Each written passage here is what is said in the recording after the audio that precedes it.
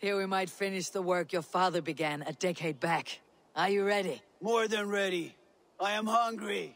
We'll need a short while to organize the men. Then we'll... Now here's a welcome face. Soma. How fares Grantebridge?